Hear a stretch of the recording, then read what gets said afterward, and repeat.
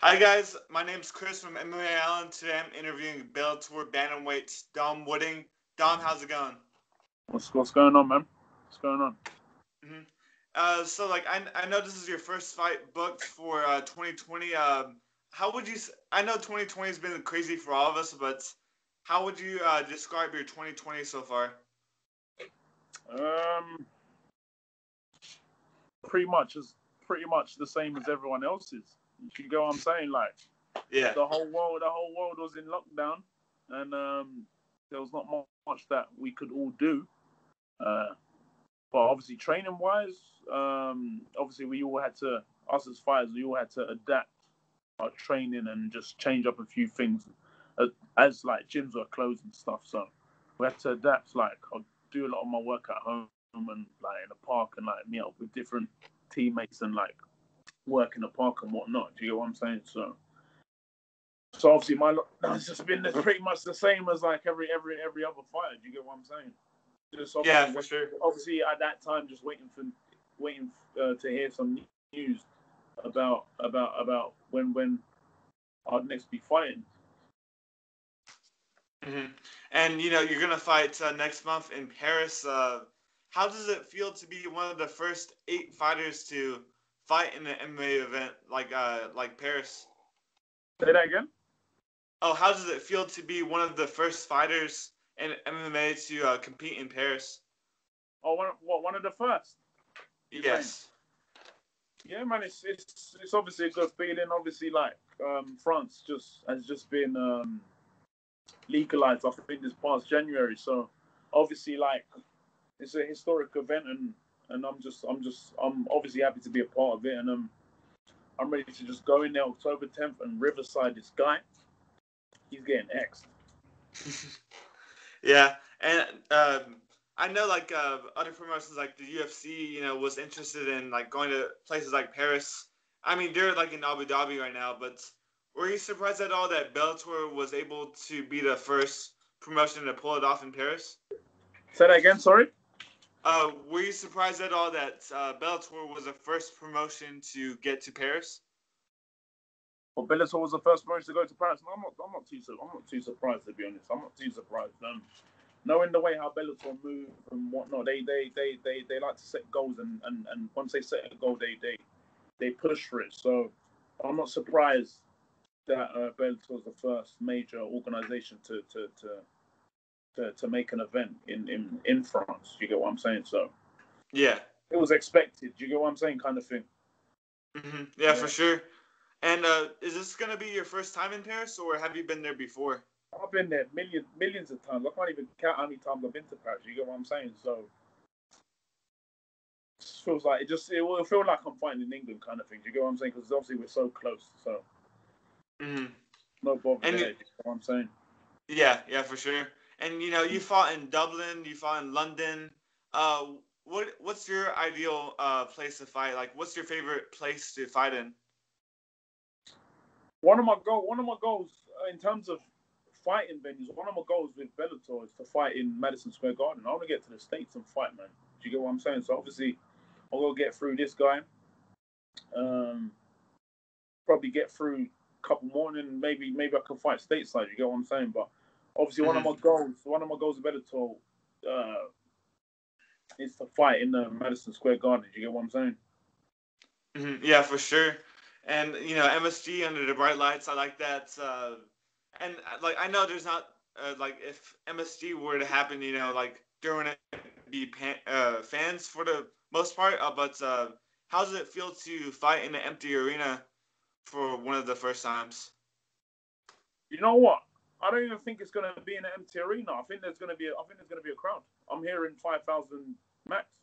Wow, that's Um, great. That's great to hear. Yeah, because I, I see that. I see them. They, I see them. They, they, they put a post on. It said tickets available. So I was just thinking, oh, there's going to be a crowd. So obviously, I do think there's going to be. Yeah, there is going to be a crowd. Um, so I don't think I'm going to. I don't think I'm going to get to experience um, fighting without a crowd, which is like. I can't. I, I, I did. I did want. I did want to experience fighting without the fans, but obviously, it is what it is. It's always good to have the fans there. You know what I'm saying? So obviously, especially during this during this time, like with the with the virus and stuff, I was I was actually really surprised that they're actually gonna put some people in the arena to to to, to spectate to spectate the event. Do you get what I'm saying? So mm-hmm. yeah, same here. I'm I'm really surprised that Bellator is trying to pull that off. Yeah. And uh, I guess like leading into the next fight, you're fighting against. Uh, forgive me if I pronounce his name wrong, but it's like. Why are you, why are you telling me to forgive you? It's not my name. I don't care about his name. Yeah, I think it's. Uh, mention it however you want to mention it. uh, I think it's Fabrizi uh, Daita. Whatever uh, his name yeah, is, like. What, yeah, what do you think of him as an opponent going into this fight? To be honest with you, like he's just a he's just a tough, wild African. I would say. Do you get what I'm saying? Like his his style of fighting is no surprise to me. Like I fought guys like that. Do you get what I'm saying? It's like it's not surprise. It's not surprising. Like that type of fighting style works well for my style. Do you get what I'm saying? Like tight, like that mm-hmm. matador type, matador versus a bull type kind of fight. Do you get what I'm saying? So. Mm-hmm. That's that's how that's how the fight that's how the fight's gonna be. That's how the fight's gonna be. A, a slick, crisp, calculated matador versus an uneducated. Do you get what I'm saying? So that's how the fight's gonna be. Like obviously, like don't get twisted. I do think he, I do, I do think he's gonna be strong and whatnot. But being strong in the fight fades throughout the rounds. You get what I'm saying? So I'm just, I'm gonna mm-hmm. go in there, do my, do my thing, dissect him, and then the, the, the, the, opening will be be there for me to finish him. Do you, do you get what I'm saying? I, I feel like he's gonna give me he's gonna give finish. You get what I'm saying? And once he does give me that finish, he's he's, he's gonna be straight riverside. You get what I'm saying? So mm-hmm. that's that. So you're predicting a finish, um, like in the terms of like the Mystic Mac uh, prediction. Uh, do you think it goes down by knockout or submission in this fight? I can sub this guy. I can knock him out. I could I could do whatever I could do whatever Tim. Do you get what I'm saying? Like the thing is with the thing is with him, it's like Oh, give me. Yeah, it's alright.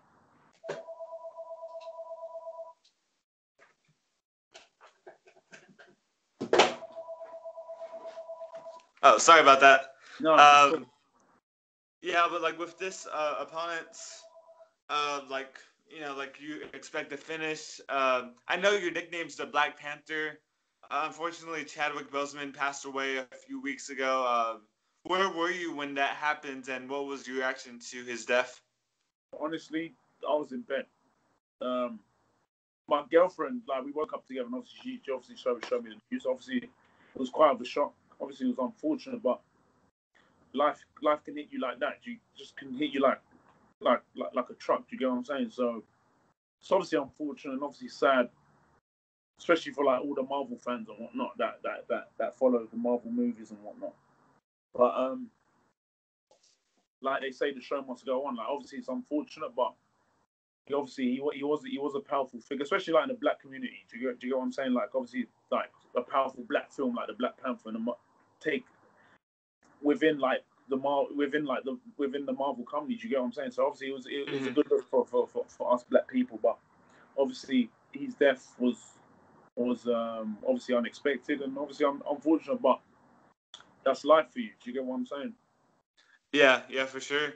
Uh, and you know, choosing uh, or like getting that nickname. Uh, did you, did you ever think about having your nickname be like something like uh, Killmonger? Something that like we haven't uh, seen. See, see, see, see, this is the thing, yeah. Listen, right. This, this, this is the thing. This is the thing, yeah. It's like people see because obviously my nick, my nickname's Black Panther. So obviously people think people think my nickname's from people think my nickname's from from the movie. It's not. It's not from the. Oh, got it, got it. Literally from the animal. Like I've been I've been riding this nickname for the past eight years. Do you get what I'm saying? So yeah.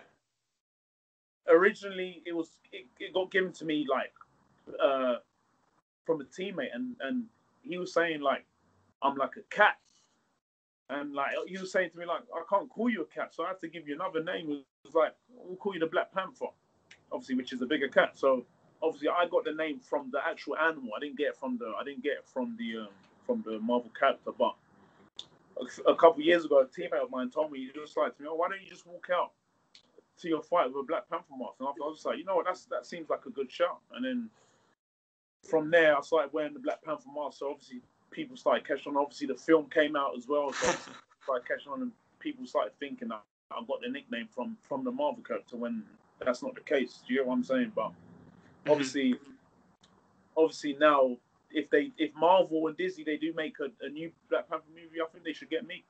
I think they should get me to to act as uh, T'Challa. Do you get what I'm saying? yeah, yeah, for sure. I mean, hey, I, I'd be down to see that. You know, like an MMA crossover. Um, I think Chadwick Boseman also trained a lot of MMA heading into Yeah, that yeah, I've acting seen- role. Yeah, I've seen some videos of him training martial arts. That, was- that, that, that was obviously a good look, a very good look. And I didn't, I didn't know, I didn't know he was doing martial arts until until I found out he died. When I started seeing videos go around, go around social media. Um, yeah, that's, that's that, was, that was solid of him to to, to take on uh, martial arts tra- uh, training and whatnot. It was a good look. Yeah. Yeah. And I guess going away from MMA, like, um, would you ever pursue an acting career, or like, um, what are some other things you think that you would make a career out of? Yeah, hundred percent. Yeah, acting, acting, acting's in there, hundred percent. If you if you go on my socials, you'll see, especially my Instagram. If you go on my Instagram, you'll see, you'll see certain, certain videos that I release on my, on my timeline of me acting and whatnot. And you could you could you could see you could see me, you could picture me in a film. Do you, do you get what I'm saying? Especially Yeah, that sure. Black Panther one. If they do make a new Black Panther sequel, I think they should get me, man, for sure, man. But um, yeah, acting, acting's definitely, definitely, definitely along along the lines with within within my other ventures within with within my career. Do you get what I'm saying? So yeah, man. Mhm. And you know, like I guess speaking about that movie, um, it's kind of hard to replace Chadwick Boseman, but a lot of people are thinking about like Michael B. Jordan stepping in as Black Panther, which I mean, it doesn't make much sense because he, you know, he's a It villain. don't make sense. Listen, to be honest, I'm the original. Do you get what I'm saying? I'm the original Black Panther. Do you get what I'm saying? I do the real fighting. All of that Mhm. film stuff is all choreographed. But I do the real fighting. So you might as well just get me. do you know what I mean? Marvel might as well just get me. Yeah, and they don't have to teach you any MMA or any choreog- choreography because I mean, I'll, I'll basically know them. everything, right? I'll teach them. I'll teach them. I'll teach them. I'll probably be doing the chore- the, the fighting scenes, the, uh, the choreography. Do you know what I mean? yeah, for sure. And um, I guess, uh, like you know, taking your talents to the next level. I know that you signed with Paradigm uh, Yeah. earlier this year. Uh, how have they been to you? And um, do you think their um, their agency takes you to the next level? Yeah, hundred percent. Yeah, that, that's that's the whole reason I signed with them because I, I feel like they're going to take me to the next level. And the thing is, it's like with Paradigm, I've been in contact with them for the past couple of years. Obviously, I was with my old management, so obviously I was laying my loyalty towards my old management, whilst they approached me. So obviously, I'm not with my previous management anymore, and um, obviously.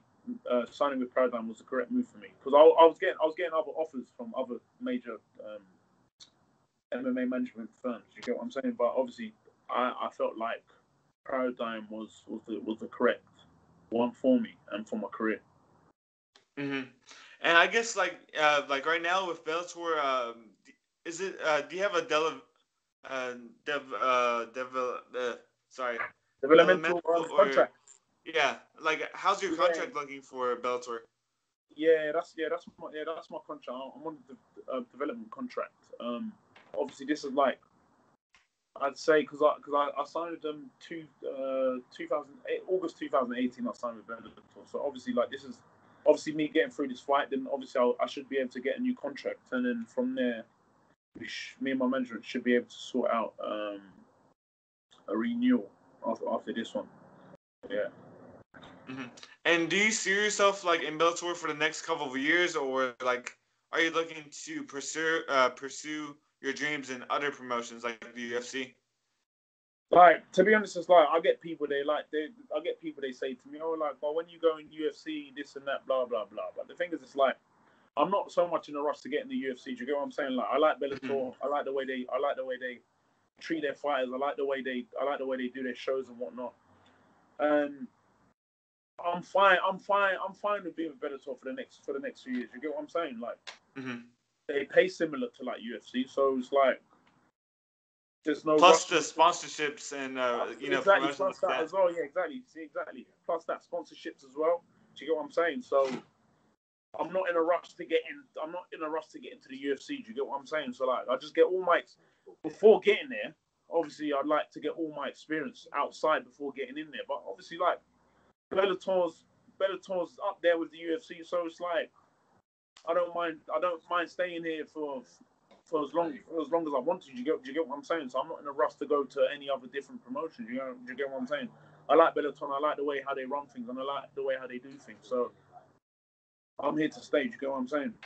Yeah, and you know you're 24, you're young, you're hungry. Exactly, I'm young. I'm young. I'm young. Like literally, I've got, I've got like another solid 10 to 12 years left in me. Do you know what I mean? To, to compete. Mm-hmm, for sure. So, I'm still young. I'm still still young in this game. Do you know what I'm saying? So still like, like leaps and bounds to go. Do you know what I mean? Throughout the year, so still a young buck. Mm-hmm.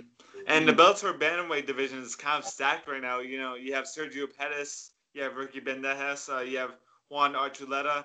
Uh, which one of those fights sounds the most appealing to you? I mean, obviously it doesn't have to be those three, but um, is there like a dream fight for you in Bellator right now? I ain't really got a dream fight, but one, one, one guy that I like to fight in the bantamweight division would would be um, Sergio Pettis. I, th- I think I think me and him would be a good fight. I think that'd be a good good spectacle. I think that'd be a good fight for the fans, and that's I think that's a solid fight. Me me versus Sergio Pettis. I, I like him as a fighter, and obviously I was I, I obviously have been watching him. Um, obviously when he was in the UFC and whatnot, but um, obviously now he's in Bellator, and obviously the chances of me fighting him are, are a lot higher now. Obviously as we fight in the same promotion, so me versus Sergio Pettis, that'll be that'll be that'll be a sick fight. Mm-hmm. and yeah. Yeah. for sure. And uh, many people think that he's next in line for the title shot against Juan Archuleta. Uh, mm-hmm. Who do you think takes that fight? Who who wins that one?